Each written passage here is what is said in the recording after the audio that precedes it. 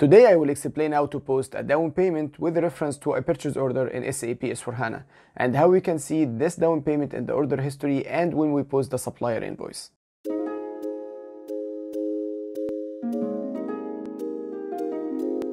When we look into the process of down payments with reference to a purchase order, we have to consider the different rules included.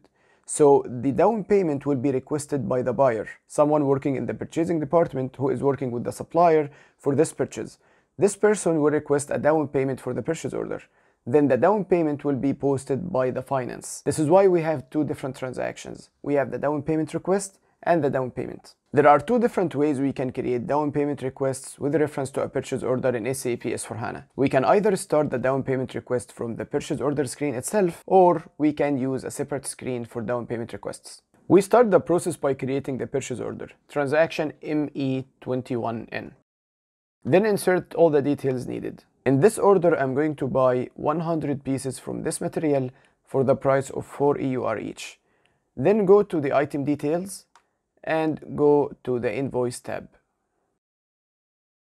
Here you can find DP category, down payment category. So you can click here and select either mandatory, no down payment or voluntary. And you can also insert the tax code. So I will use V0. And then you can see we have to insert the details for the down payment.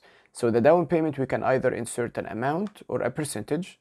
So let's say we have 20% down payment. SAP automatically translated this into the amount and then you have the down payment date. So this down payment is due by the beginning of next month. Then save the order and this is the order number. Now there are two ways we can proceed from here. We can either go to the down payment request screen, F-47, and from there we can create the down payment request, or we can use another screen that's made only for the purchase order down payment requests, which will create the down payment request automatically based on the details we inserted in the purchase order now. So I'm going to show you both ways and I will start by the transaction that's made for the purchase orders. You can find the transaction under logistics, material management, purchasing, purchase order, reporting, down payment monitoring for purchase order. Double click. Here you can insert the purchasing document or you can insert the vendor. So I have the PO number here and you also choose which payment down payment categories you want to be included in the program. And then you choose what is the down payment due date. Then execute. So for the purchasing document ending 1001, we have a down payment percentage of 20%, which is 80 EUR, which is the amount we inserted in the purchase order screen now and the down payment due date is this and all the other details you want to know. Select the line and click on create down payment. Then you can either choose a down payment request or a down payment. If you choose a down payment request, then the next step is someone from finance will go and convert the request into a down payment. Or you can directly go to a down payment. So I will choose down payment request, then hit enter. Here you can change the different details that came from the purchase order. So we can change the tax code, the down, the down payment due date, or the down payment amount. Then click on execute. This will start the down payment request screen. Here you have to fill all the mandatory details. So the document date, the reference, the document header text, and the special GL indicator. I already have another video explaining what is the meaning of special GL indicators. I will leave you a link in the video here in case you are interested. So the special GL indicator I'm using is A, and then press enter. And remember that this is a down payment request. So there is no debit and credit. It's not a financial entry. It is only a request. It has no financial impact. So the request will only have one side, this one. So we have a down payment request for 80 EUR. Save. The document was posted in the company code. Okay. Now if we go back to the report again and refresh, you can see the history of the purchase order here. So if you double click, this is showing that we have a down payment request for ATEUR. This down payment request was created in 1602-2021 and if you click here it's going to display the down payment request. Again, it only has one side because this is not a financial entry. It has no impact on finance. So this is the first way to create a down payment request. The second way would be to go directly into the down payment request screen, F-47, and create a down payment request with reference to, to the purchase order. Let me show you how this works. So I will open a new screen, slash O F-47, enter. And here I'm going to insert the same details. So 1602 2021 account of the vendor is AG01 and special GL indicator for the target is A, enter. Again, we have to insert the reference and the document header text. So the amount of this down payment will be 50 and it will be due on 15 of March 2021. Also calculate tax and the tax code is V0. Now, because we want the down payment request to be with reference to a purchase document, we are going to insert the PO number here and the item number here, 0010, and then save. Now, if we go and display the purchase order history, and this you can see in the purchase order display screen, which is ME23N.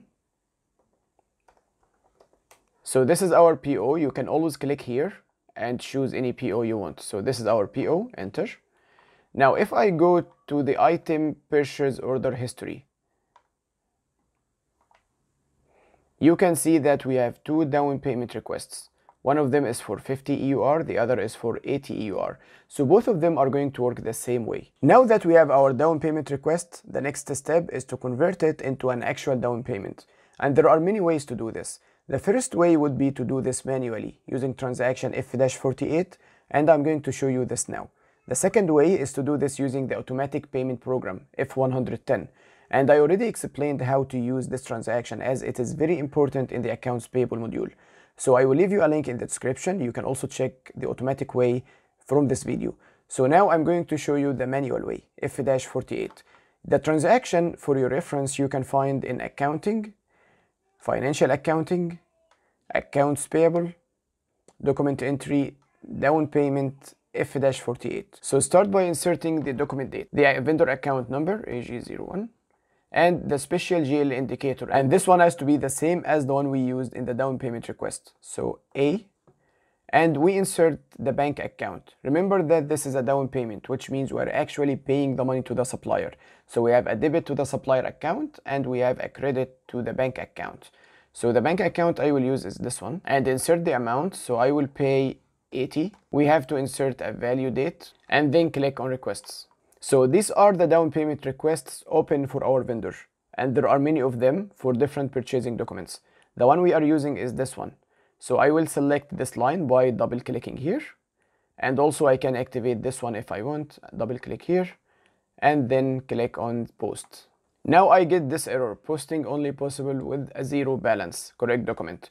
In the main screen for the transaction, I inserted the value 80, but then I choose two down payment requests, one for 80 and one for 50, so the total is 130. So now the financial entry is not balanced. Why I did this is because I received many questions of people saying, when we start the transaction, we are not sure what is the amount we are going to pay for the down payment requests. So we don't know whether we are going to pay 80, 100, 120, but then we only know after we choose the requests we want to pay. So my advice to them is insert any value in the main transaction, in the main screen. You insert any value like I did, I inserted 80, and then press enter, go to the requests, choose the requests you want, if the total is different from the value you inserted in the main transaction screen, you will be asked to change this value. This is what I'm going to do now. So I have chosen two down payment requests, 80 and 50. The total is 130 and I said that I'm going to pay from the bank only 80 euros. So now I need to change this value. Double click here and you can change the value to 130 or you can actually also insert an asterisk and SAP will automatically calculate the value that need to be inserted for this account. Enter, voila, and then click on post. Document was posted in company code. Now I'm going to display the purchase order history so we can see the impact of this.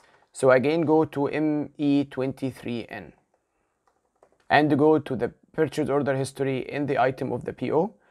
Now you can see the update. We have down payment requests for 130, so we already saw this. And what we have now is a clearing of the down payment requests because the down payment requests have been converted to down payments. So the down payment requests cleared is for 130, so the total of this is zero. And also we have two lines for down payments for 130 EUR. Now when we process the invoice, SAP is going to show a message telling us that down payments exist for information. So let me post the invoice to show you this. To post a supplier invoice with reference to a purchase order, the transaction is MIRO insert the invoice date, the purchase order number, and I get this message. Down payments current assets exist for 130 EUR, just for information. Now I can click OK and I can proceed normally with posting my invoice. So let's say I'm going to post 100 EUR for a quantity of 50 or 25 and the total here is also 100 EUR and post. Now let's go back to the purchase order history. And as you see now, we also have an invoice created for 100 EUR. Now we have our down payment. So the next step is to clear the down payment against the invoice. And there are many ways. So we can use a clearing transaction to do this, or we can use the manual payment transaction. And when we do the manual payment, we also choose that we want to clear the down payment and the manual payment against the invoice or we can use again the automatic payment program F110 and it will automatically clear the down payments against the invoices. So I will show you how to do this now using the clearing transaction, the normal one. I will go back to the SAP menu and go to accounts payable, account and clear F-44. Here you insert the vendor number AG01 and if you want to see the down payments you have to insert the special GL indicator here. So our special GL indicator is A and then hit enter. Now I can double click on any line to select it and then SAP is going to clear the lines. So I will choose this one 50, 80 and I will choose the invoice for 100 EUR. Now the invoice is only for 100 but we have 130 down payments made. So we have a balance of 30 that we have to assign somewhere else. So we can either choose a different invoice or we can choose to post this as a partial item. So go here and instead of using the full amount of this down payment 80, I'm going to use only 50 and I will leave 30 open to be cleared against another invoice in the future. Then click on post. Now SAP has cleared the down payment against the invoice. And this is it for the video today. If you have any questions related to this process, leave me your comments and also don't forget to share the video and subscribe to the channel. And if you are interested in seeing more advanced videos and supporting the channel, you can check the channel membership program. Go to the channel homepage and click on join to see more details. Thank you for watching and I'll see you again soon.